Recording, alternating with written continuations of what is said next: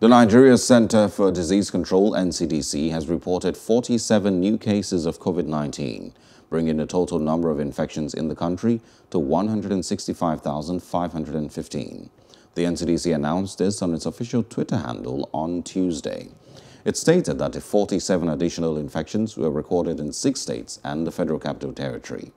The agency said that Adamawa State topped the list with 19 cases, Lagos followed with 16 infections, while Enugu and Kaduna had three cases each. Akwa Ibom, Delta, and the FCT recorded two cases each. It also announced that no person died due to COVID-19 in the past 24 hours.